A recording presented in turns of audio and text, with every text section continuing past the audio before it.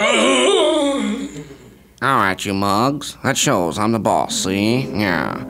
I want you to get over to your Blakley station and buy gas right now. Yeah.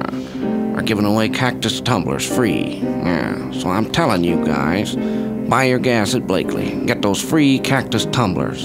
Yeah.